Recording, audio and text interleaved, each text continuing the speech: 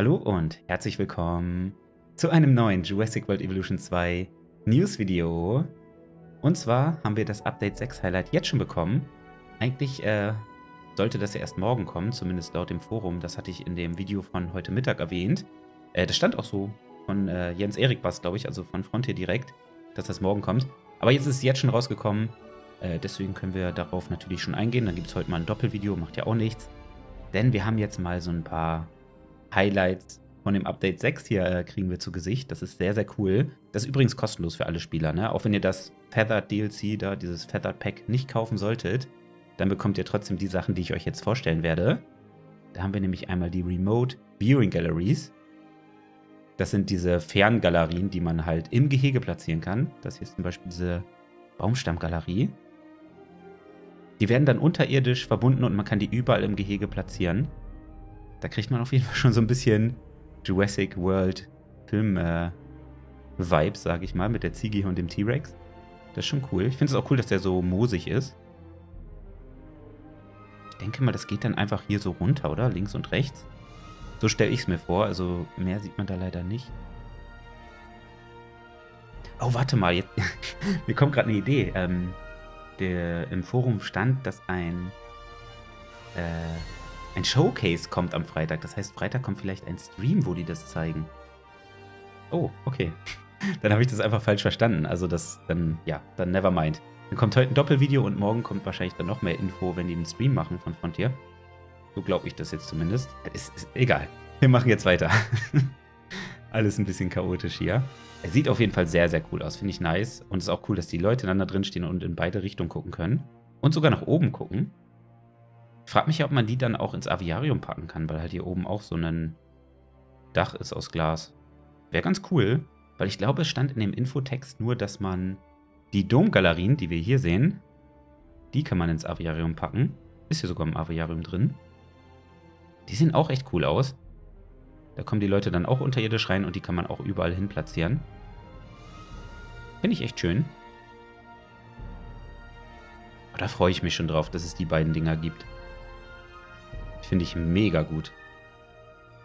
Dann gibt es hier als nächstes noch den neuen Cinematic Camera Mode. Äh, in dem Text steht jetzt hier nichts Spannendes drin, was uns irgendwie Infos gibt, was diesen Modus halt ausmacht. Also was den von dem jetzigen Kameramodus unterscheidet. Steht halt hier wieder das drin mit diesen Postcards, Stamps, Logos und bla bla bla.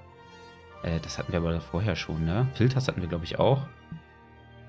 Also keine Ahnung. Also da bin ich sehr gespannt. Ich mag sowas ja sehr, sehr gerne. Gerade für äh, Screenshots und für Videoaufnahmen ist sowas natürlich sehr nice. Aber schade, dass wir da noch keine Infos bekommen haben. Dann haben wir als nächstes die Zipline-Varianten. Die kann man hier sehen. Das wussten wir auch schon, dass die kommen. Also dann für die anderen Äras, dass es da so Zipline-Gebäude gibt. Das hier gefällt mir richtig gut in Holzoptik. Das ist dann, äh, welche ist das denn? Ist das Jurassic Park-Ära wahrscheinlich, ne? Die Holzoptik. Denke ich mal. Ja, das ist cool. Da wird es dann wahrscheinlich auch noch eine Biosyn-Optik geben und eigentlich für alle Äras, die wir mittlerweile haben.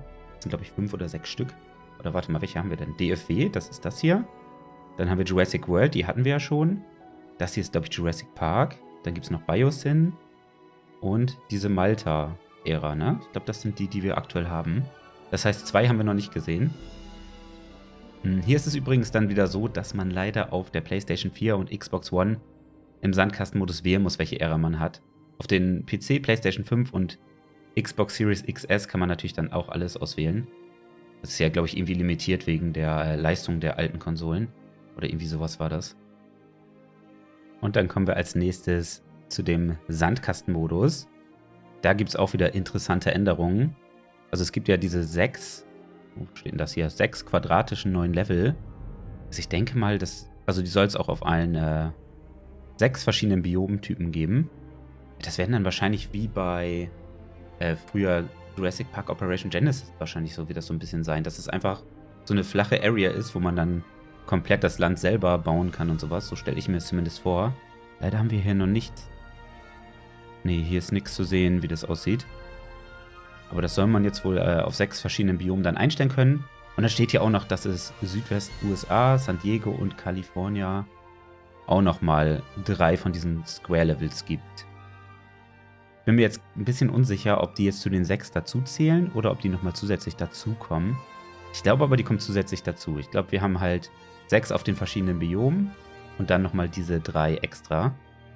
Da bin ich auch sehr gespannt drauf. Da freue ich mich drauf. Das ist ja sehr praktisch für dann so äh, Parkbuilds. Also das finde ich nicht schlecht. Äh, dann gibt es natürlich auch äh, mehr Settings. Das hatten wir ja auch schon. Zum Beispiel kann man einstellen, dass es jetzt äh, unbegrenzte Futterreserven gibt.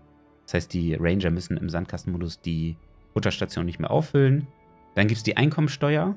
Die kann man auch in vier verschiedene Level einstellen. Also, dass es keine Einstellung, äh, keine Einkommensteuer gibt, dass es auf niedrig ist, auf Medium oder High. Also dementsprechend muss man halt äh, mehr bezahlen und hat weniger Einkommen. Ist für mich jetzt persönlich nicht ganz so interessant, aber vielleicht für euch, wenn ihr da Bock drauf habt, mit Geld zu spielen. Mache ich ja in der Regel nicht. Und diese Option ist noch sehr cool. Decoration Foliage, das ist halt, dass man die Bäume und Büsche aus allen Biomen einstellen kann. Also das heißt, wenn ich jetzt zum Beispiel in, ja, was nehmen wir denn mal, Kanada spiele oder so, dann kann ich zum Beispiel einstellen, dass ich auch aus anderen Biomen dort die Bäume platzieren kann, zum Beispiel aus der Wüste, Kakteen oder sowas. Und äh, man kann auch einstellen, dass man nur bestimmte Bäume haben will. Also zum Beispiel, wenn ich in der Wüste bin, kann ich sogar einstellen, dass ich nur die Bäume aus Kanada haben möchte da als Auswahl. Aber macht natürlich Sinn, einfach alle freizuschalten, dann hat man die meiste Auswahl. Ist natürlich immer schön, ne? wenn man dann äh, mehr Möglichkeiten hat. Dann kann man zum Beispiel auch mal einfach so ein Wüstengehege bauen in einem Park, der jetzt nicht in der Wüste ist. Vielleicht dann noch mit so einem Dom drüber, so mit Mods später. Stelle ich mir ganz cool vor. Also finde ich auf jeden Fall nice, dass es mehr Auswahl dort gibt. Und man kann noch die Menge, wie steht das, Capture Frequency, ähm, von den Wildfängen einstellen. Also dass dann öfter Wildfänge angezeigt werden und man die dann äh, halt sozusagen im Park unterbringen kann. Dafür muss man die Option Expedition und Fossilien einstellen im Menü. Ich weiß gar nicht, ob man hier jetzt noch was sieht. Nee, ich denke... Also hier sind halt die neuen äh, Dinger hier zu sehen, die neuen Einstellmöglichkeiten. Ja, aber sonst... Leider sieht man hier nichts mit der...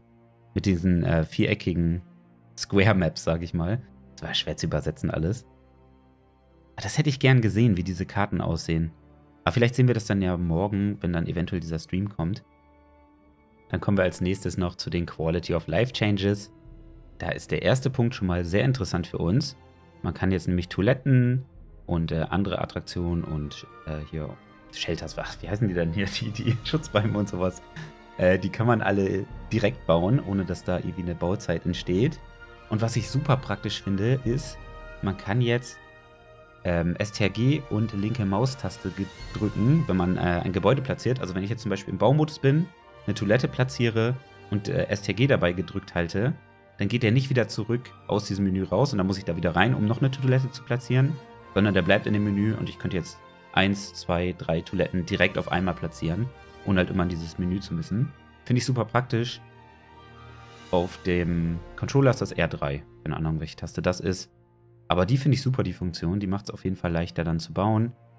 Dann gibt es auch noch eine neue Verhaltensweise für kleine Dinosaurier, wie zum Beispiel äh, diesen Moros. Die können nämlich jetzt durchs Wasser gehen, was sie ja vorher nicht konnten, die wurden da ja blockiert. Und die heben dann einfach so ein bisschen den Kopf ab. Äh, heute ist ja ganz schlimm hier, aber ich komme gar nicht klar mit übersetzen. Also den Kopf an, wollte ich natürlich sagen dass die dann so hochgucken oder so, denke ich mal. Bin ich gespannt auf die Animation, finde ich aber gar nicht so schlecht. Ich bin auch gespannt, ob das alle können. Es könnte natürlich auch sein, dass die ganz kleinen das vielleicht nicht können, wenn das Wasser zu tief ist. Müssen wir dann testen, wenn es soweit ist. Aber finde ich immer schön, wenn äh, Dinosaurier mehr Animation haben, dann wirken die alle lebendiger. Als nächstes werden die Sauropoden im Kampf verbessert.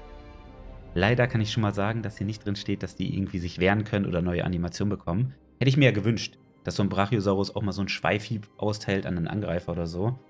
Aber das steht hier leider nicht drin. Aber vielleicht kriegen wir es ja noch.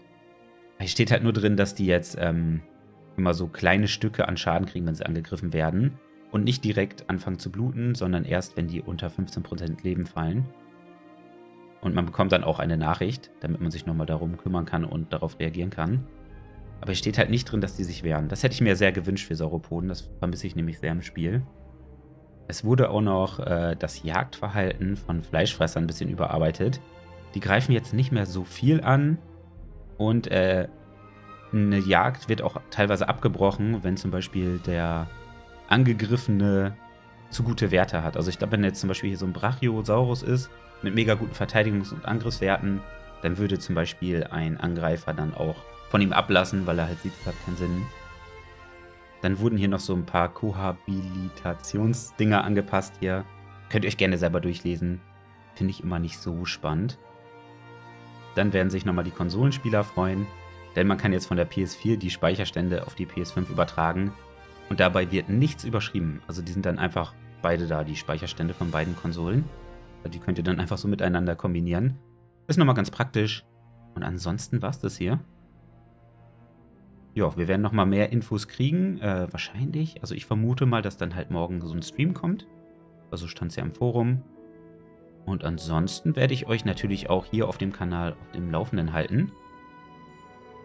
Die Dinger hier finde ich natürlich besonders cool. Das ist mein Highlight, dass wir die mal zu Gesicht bekommen haben. Sehen auch echt toll aus, die Dinger. Domgalerie und Baumstammgalerie. Finde ich beide super. Ja, und das waren die Infos oder das Highlight von Update 6. Ich hoffe, ich konnte euch gut informieren. Ich wünsche euch jetzt noch einen schönen Tag. Lasst gerne einen Daumen da. Macht's gut, haut rein. Euer Dandy.